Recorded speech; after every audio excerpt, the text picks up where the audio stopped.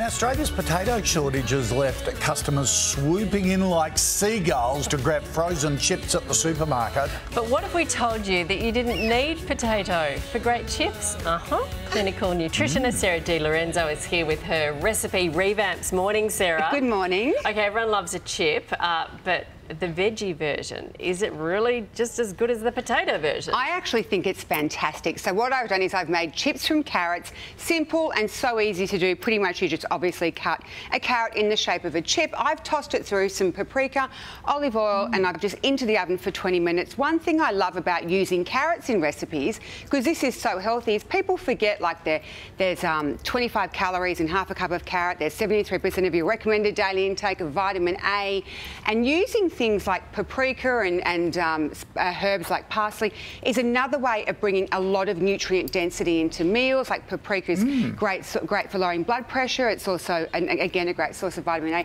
And parsley is a natural diuretic and great for lowering blood pressure. Okay. So super healthy chips there, carrot chips, mm. and so easy to do. Well, we, we usually do sweet potatoes. I thought carrots or whatever, but you're doing a sweet potato gnocchi. Yeah, absolutely. oh, the Italians would be happy about that. yeah, absolutely. And again, another really easy recipe. So you just grab your sweet potato into the oven, just poke some holes in it for about 50 minutes. And I think sweet potato truly is an absolute so, superfood. So what do you do? You, so you, you, mu you mush the sweet potato Yeah, up. so you put the sweet potato in the oven and you put it in there for like... What, whole? Whole, with its skin on, so it cooks in the centre. open up the jacket of the sweet potato when it, and let it cool. Then you just put an egg through, some parmesan cheese. I use two different types of flour flour. I used an almond flour because I love all the health benefits right. of that. And I also used a tapioca flour because it's got some ma magnesium and iron. Mm, and okay. then you just knead it, right. roll it out, right. cut it into boiling water, and just a very easy version. So cook it for, ah, okay. Oh, yeah, yeah. I was wondering yes. how you did that. That's yeah. a great idea. No, it is. It's, mm. again, very easy. And the old favourite mash. Okay, so a complete makeover, and this is just, if a recipe could scream health benefits, I swear it's this recipe here.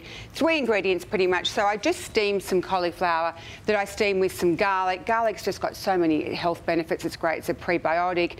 It's also excellent for um, our immune system. Steamed that together with the um, with the cauliflower and then in the food processor, some olive oil, and there you have the garlic. Yeah, the, the, yeah, Beautiful. Have, mm. Yes. Okay. Now, the piece to resistance, oh, a potato bake without potato.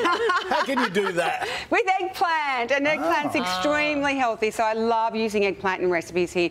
So basically, just got the eggplant, sliced it, put it into the oven for 30 mm. minutes, and then I just did layers of it. So I did a layer with some uh, mozzarella cheese, low in oh. fat, and then some uh, I put oats over the top, and there you have it an eggplant bake. Oh. Simple, easy, incredibly delicious. With lots and of there you have yeah. loads Beautiful. of recipes. With mozzarella. Yeah, with mozzarella, mozzarella cheese. Okay, well, I like these. Yeah, they're great, great ideas. Gnocchi. Yeah. yeah. Thanks, Sarah. You can find all the recipes on the Sunrise website.